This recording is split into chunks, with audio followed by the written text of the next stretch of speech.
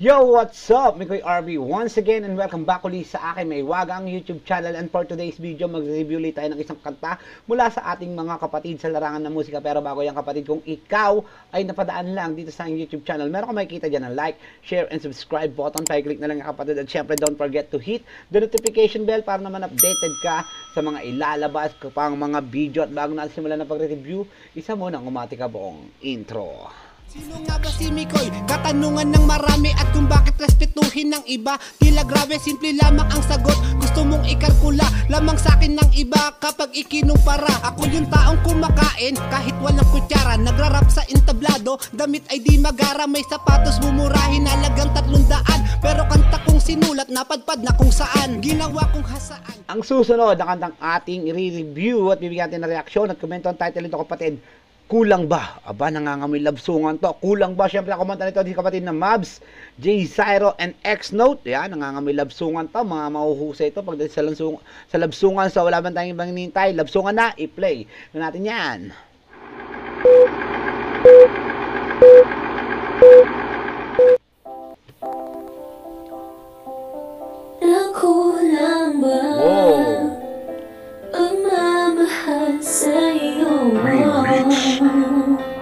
Sa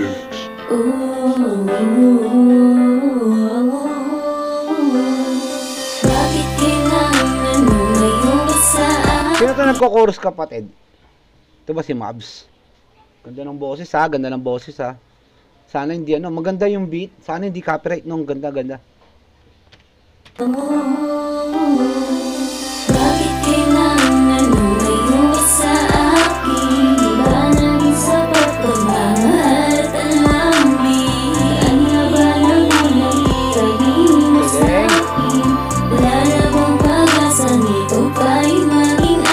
So confirm parang si Mabs nga na kasi naka-highlights yung pangalan ni Mabs dito. So si Mabs nga yung nagko-chorus. Ngayon, comment down below kapatid kung mali ako ha. Grabe ang ganda ng boses. Shoutout niya kay Mabs. Sanang ibigay lahat ng gusto mo aking mahal Mapatunayan lang na ikaw lang ang isa pa Pag-ibig ko lahat, ikaw lang nilalaman Ang sarap sa tenga, no? Sarap sa tenga. Para kang inihili. Ganun kaganda yung boses. Lang na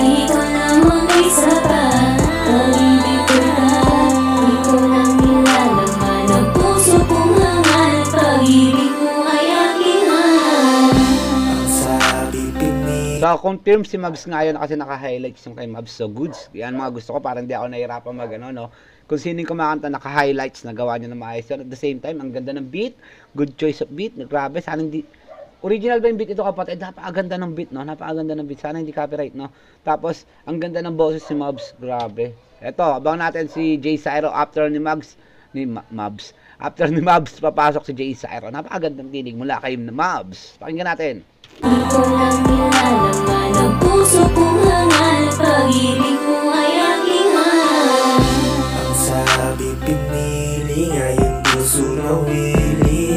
Grabe tong tatlo na to. Basta nagsama-sama tong tatlo na to. Napakaganda. Napakaganda ng love song. Pero minsan to, na, mga ilan na rin kanta na pakinggan ko nagawa nila. Grabe talagang given na pang love songan yung mga boses nyo kapatid. Napakaganda ng mga tinig nyo. bakit ganon hindi na natili Lahat ng mga pangako ay bigla na lang naglaho Simula nung iwan mo ikot ng mundo ay nagbago Nagbago lahat sa'yo na ako kasiya Alam mo gusto ko marinig, makinig na lang. Parang yung tipong gusto ko makinig na lang. Kasi ang ganda eh, no? Mo Umasa ako na hanggang sa dulo Ako pa rin nasa puso mo.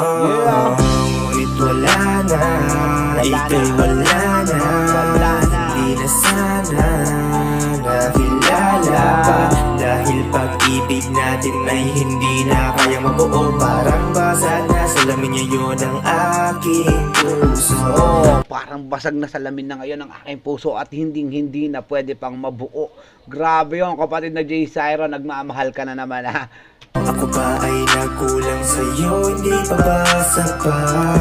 Yeah. Pag-ibig na umaapaw ay nasayang lang ang lahat bakit kailangan mong lumayo sa akin Naging tapat naman na ako sa pagmamahalan Yeah! Bakit kailangan Galing! lumayo ka sa akin na Ang galing doon ni Jay Syra, grabe, ang galing ni Sierra. At the same time, biglang pasok naman ni Mobs na isang may, ang gaganda ng boses nyo kapatid, grabe.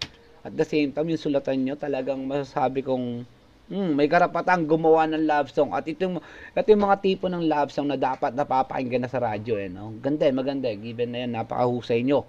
Grabe. Akin naging tapat naman ako sa pagmamahalan natin Bakit kailangan lumayo ka sa akin Galing! Iba na rin sa pagmamahal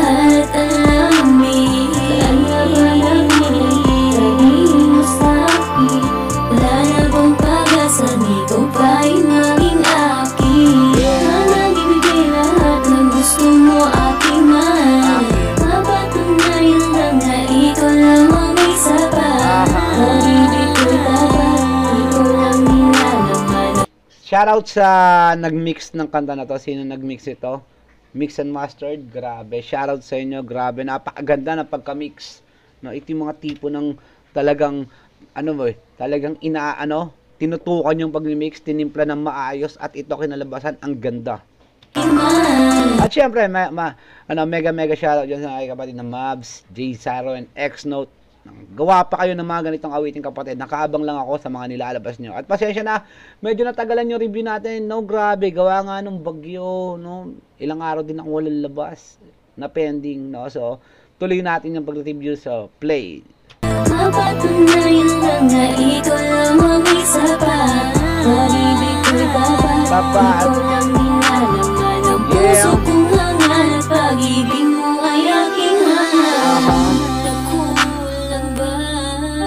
Eto na si Mabs, no? Grabe. Hindi lang pang chorus, pang verses pa. Na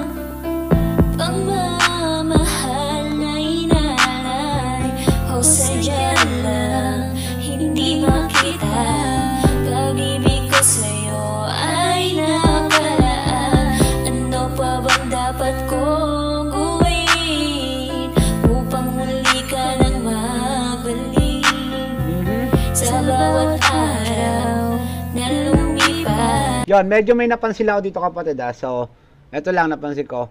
Maganda yung tinig ni ano dito. Maganda yung tinig ni Mobs. Talagang ano 100% para sa napakaganda ng tinig ni Mobs dito. Kaso yung second voice, sumis yung second voice is ano, medyo ano, medyo sumintina, parang ano, parang sintonado yung datingan ng second voice. Yun lang ah, pasensya na kapatid. Ako, kung ano yung narinig ko, yun lang yung pina, pina-suggest ko sa inyo, yung yun lang yung pinaano, yun lang yung nire-react ko. Upang muli Pakinggan nyo rin, pakinggan nyo rin ha. Di ka nang mabalik Sa bawat Yun o, yun, yun. Diba? Sa bawat araw. Medyo ano, mas maganda pa yung kung hindi na ano eh. Kung wala na nag-second voice eh, no? Yun lang yung kapatid, no? So, pasensya na. Ako yung nakikinig lang at ito'y base lang, lang, base lang naman sa aking sariling opinion, no? Pero ang ganda ng boses si Mabs. Talagang grabe. Doon lang sa second voice, medyo, medyo hindi lang maganda yung pasok ng second voice. O hindi lang naka-timing yung pasok, no? Malamang sa timing lang, hindi nailapat yung nang maayos yung timing nun. Na lumipas Ikaw pa rin ang nais ko na makita Yun, no? Ngunit wala na Yan! Ika'y wala na Di na sana Ito yung gusto ko yung mga lalaki, babae, nagsasabayan sa isang kanta. Yan, ganda, ganda. Ito, buti ito, maganda yung kinalabasan ha. Ngunit wala na. So, ayos, ayos. Ulitin ko yun. Ika'y wala na Nais ko ba? na makita wala na Oh, yes. Nice. Di na sana Katulad nito kapatid, nagandaan ako dito. So, ito yung i-react ko dito. Maganda, no? Maganda. Ganda ako mag-react kapatid. Oh. So, pasensya na. No? At sa pinuputol-putol ko talaga pag nagre-review ako. Hinihimay ko bawat litrahan. Kaya nga nasabi ko kanina, maganda yung boses ni Mabs given na maganda yung boses niya. Kaso yung yung pinatong na second voice, parang tunog sintonado. So medyo medyo na ano ako doon, na distract ako doon. Pero dito nung nagsabay na yung lalaki at babae, hindi ko alam kung sino yung lalaki yung sumabay doon.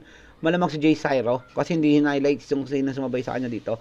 Ang ganda, ang ganda ng kombinasyon ng boses niyo. Tuloy. Nakilala pa Dahil pag-ibig natin ay hindi na kayo mabuo Para Yes! Nice! Ngayon ang aking puso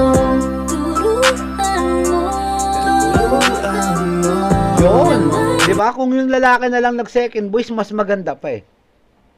Kasi nandun na yung boses ng babae eh. Nandun na.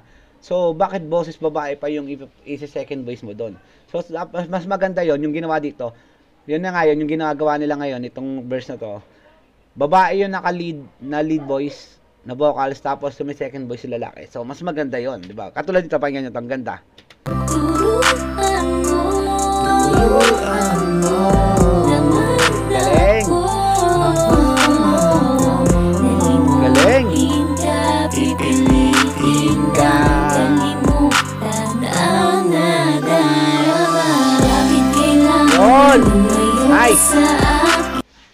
Para sa akin, napakaganda ng kanta. Masasabi ko dito, napakaganda ng kanta nyo kapatid. Medyo meron lang konti ako nasilip na butas. Yun nga yung sinabi ko kanina, yung nag-second voice si Mabs. Boses na kasi ni Mabs yan. Tapos, sinecond voice pa ng boses niya. Hindi hindi nag ano, hindi sila nagbagay, hindi bumagay o hindi lang naipantay na maayos. Yun lang yun. Pero all in all, para sa akin, napakaganda nito. So, meron pa tayo. Si X-Note, di ba natin narinig? Pakinggan natin yan. Na Yo, shoutout nga pala kay X-Note dyan. Grabe. at syempre, mega mega shoutout kay Mavs and Jay Zyro. Ano ba ng kulang sabihin mo sa akin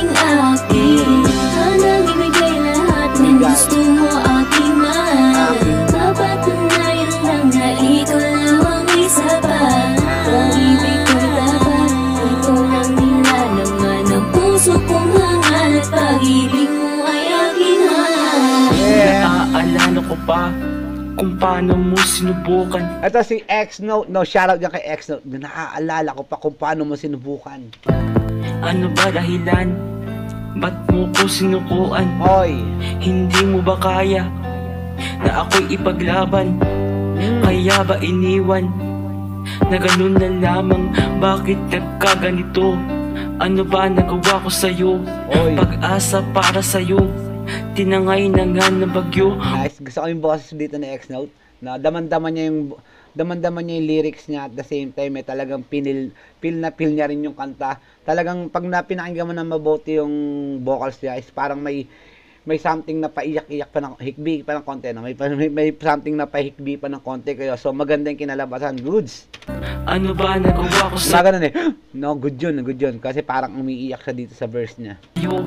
Pag-asa para sa'yo Tinangay na nga ng bagyo Kulang pa ba ang mga binigay? Bakit bigla na lang umalis? Sakit pa ang tinan mo Imbis na ako'y gumaling Pag-ibig na ba ang Ah. tawag mo dyan? Pero bakit nakakatanga? Ah. Kung pag Pag-ibig na ba ang tawag dyan? Pero bakit nakakatanga? Nakakatangang pag-ibig. That ang title nito, nakakatangang pag-ibig eh. No? lokohan lahat ng ito Di talaga nakakatawa oh, Binigay ko naman ng lahat Pero bakit sinaktan mo pa? yes. Minahal kita ng tapat Naghanap ka pa ng iba O sige, panalo ka na Pero mo, minahal mo na ng tapat, naghanap pa rin ng iba. So, ano pang kaila, ano pa bang hinahanap? No, mo, binigay mo na lahat. Nandun na yung ul- ultimo oras mo, tapos biglang maghahanap pa ng iba, di ba? Grabe yung X-Note. Lupit mo!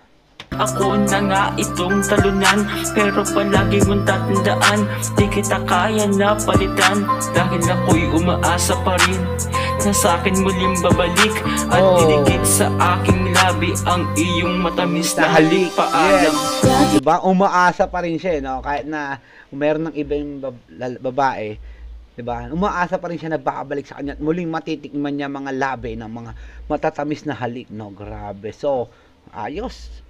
Shoutout dyan kay X-Note, mahusay. So, pakinggan natin ang boses, ang napakagandang boses ni kapatid na Mabs. Kailangan lumayo ka sa akin Iba na rin sapat pagmamahal at Saan na ba mo sa akin Wala bang pag-asa ikaw pa'y maging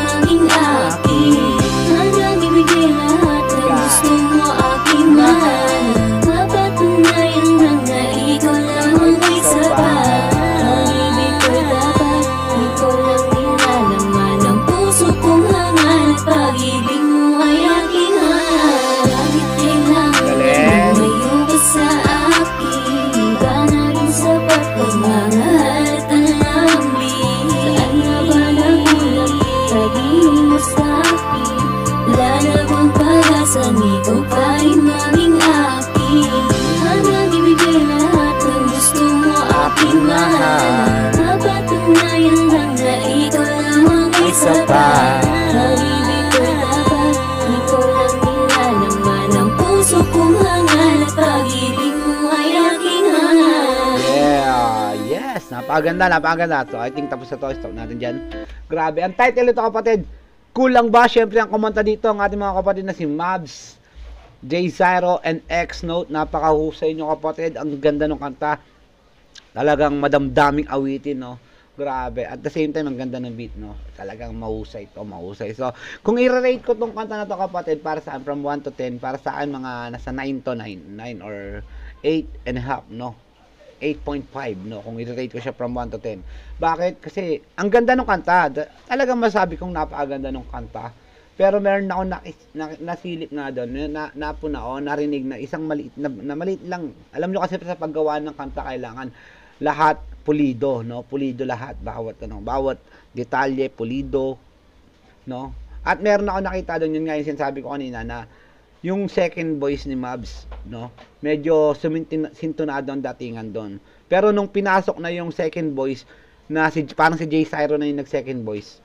No, I think si Jay Cyro nga yung nag-second voice. Tapos boses ni Mab, Mabs yung naka-lead. So, ang ganda, ang ganda no. Ganun dapat kapatid. Yun lang yun. Pero, gawa pa kayo ng ganito mga kanta kapatid. Masasabi ko sa inyo na pa, may talento kayo, meron kayong potential at talagang given na napakaganda ng boses niyo. So maraming maraming salamat sa suporta kapatid. Tiwala, ingat palagi at ingat din kayo sa mga bagyong paparating sa peace. Out!